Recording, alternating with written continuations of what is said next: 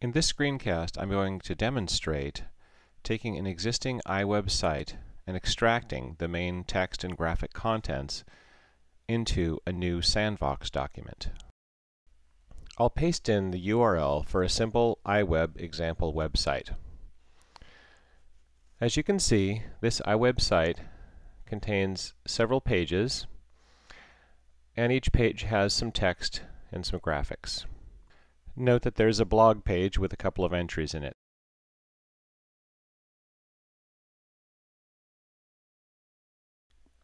I'm hiding Safari to get it out of the way, and now I'll launch Sandvox. Notice this section on the Welcome window that helps people with an existing iWeb site.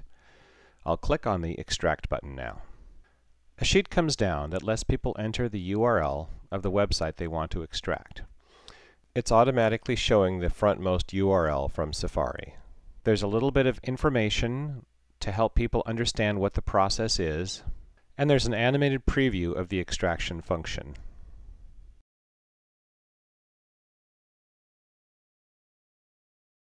I click the Extract button and there's the window showing the progress as it loads in the pages from the website. And there's the new Sandvox document it created, one page for every page that the extractor found from the original iWeb site.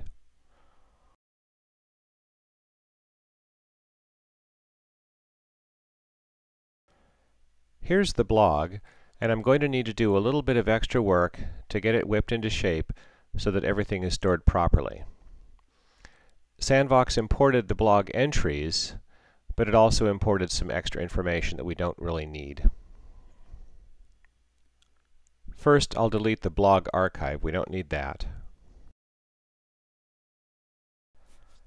And on the blog collection page, I'll delete these two extra photos. Since I want the blog collection to index the contents of the blog pages, I'm going to create a new index here called Titles and Summaries. Next, I'll use the inspector to change what gets displayed. In this case, I want to see the title and the contents of each blog entry.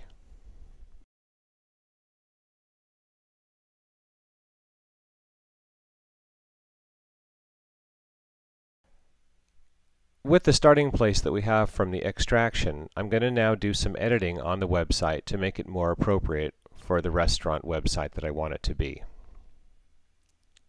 I'll click on the Designs toolbar icon to bring up the Design Chooser where I can choose a new look for the website.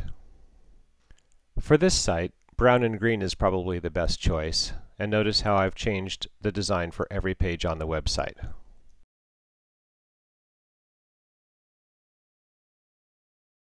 Now I'll use the inspector and bring in a nice banner graphic.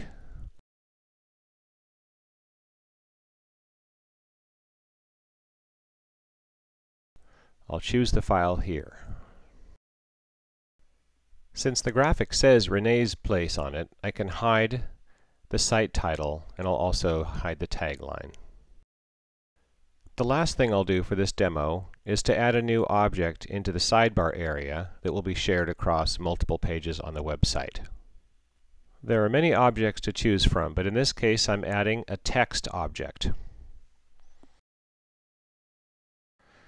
I'll copy the text out of a Pages document and then paste it into this area.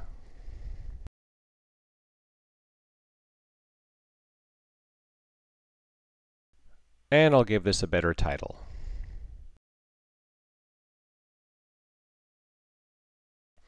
That concludes this demonstration. I hope that this has given you a good sense of what it's like to extract the contents of an iWeb site into a new Sandvox document as a starting point for creating a new and even better website. Thanks for watching.